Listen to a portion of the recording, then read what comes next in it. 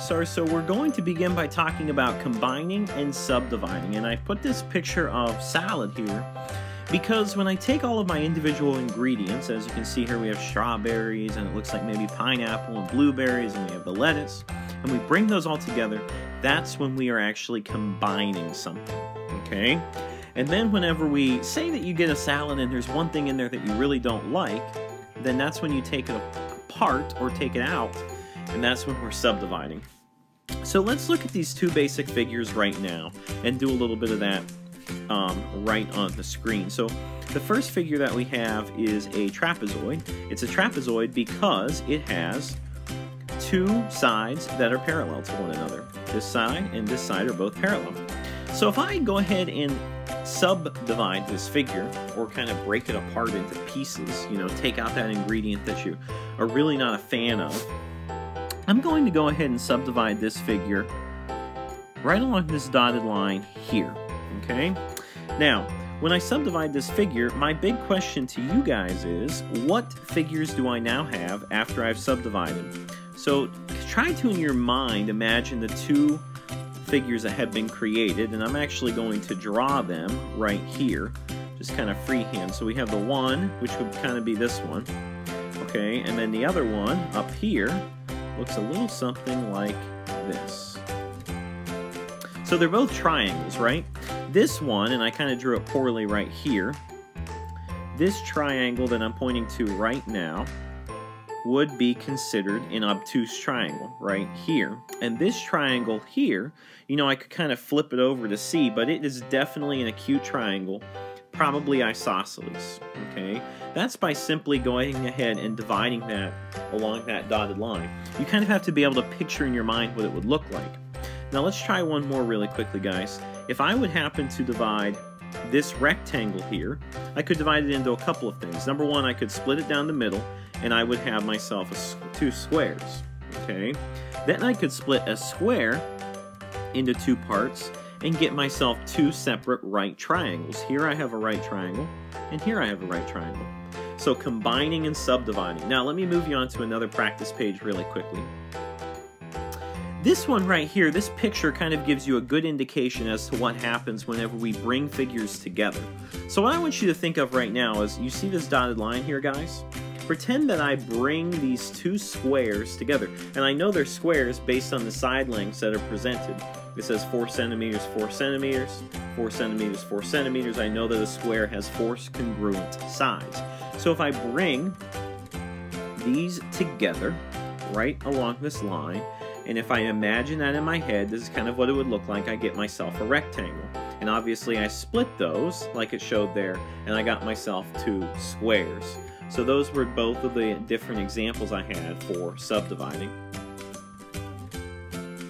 Okay guys, this is one of those such examples that I want you to look at and figure out which of these four figures could com be combined, okay, we're working on combining right now, to create to create a square. You remember a square needs a four congruent sides, it needs four right angles, two sets of parallel sides, and obviously being a closed figure with four sides. This is good practice because you kind of have to imagine these in your head. So would I be able to combine figure 1 together to create a square? Or think about figure 2, would this create a square? Figure 3, okay, or figure 4. Think about it for a second. Yeah, it's definitely figure 4, and let me show you how. So here we have, right in this area, we have this right triangle. If I were to take this right triangle and slide it over, and put it right here, I would get myself a perfect square. Two right triangles combined equals a square in that case. Now, here's a pretty familiar picture. This is actually the Pentagon, okay? Some of your parents or family members may do business there or work there. Okay, obviously a pentagon is a five-sided figure, so it's not a quadrilateral, but I thought it was kind of cool because it can be subdivided into a ton of different figures. Let me show you one example. Say that I subdivide this figure along this line. Okay, so if I take this figure like this, this shape right here would be an isosceles triangle, okay? This side and this side are equal in length, and this side is a different length. And it's also acute because all of Or it may actually be obtuse, guys, because this angle and this angle are acute. But if you look at this angle right here, I believe that this would measure more than 90 degrees. So this would be an obtuse angle. Now, then I look at this figure that I subdivided, and this figure right here would be a trapezoid because this side and this side are parallel to one another. This figure, guys, could be divided in more than just that way. You know, another such case where I think you could subdivide this could be right here. Or you could do it in multiple ways. You could also divide it here. So here, in this case, when I subdivide this figure, I get a triangle here. I get a triangle here, and I get a triangle here, okay? So once again, that term subdividing is like taking the ingredients out of your salad.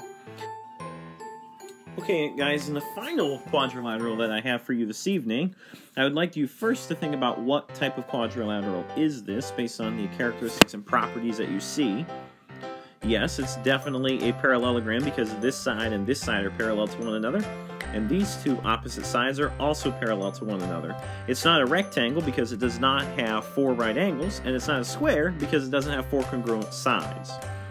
So really for this one, all I wanted you guys to kind of look at is how can I divide or subdivide this into different figures to also find other quadrilaterals or triangles in that matter.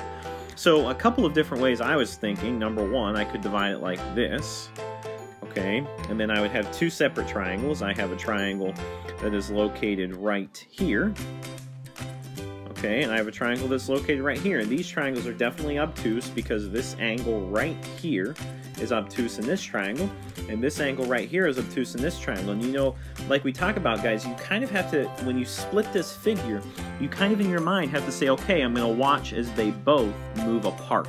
You kind of have to say in your mind, okay, I'm watching as they move apart. So when they move apart, here are the figures that I have. Okay? That wraps up our combining and subdividing review for the day.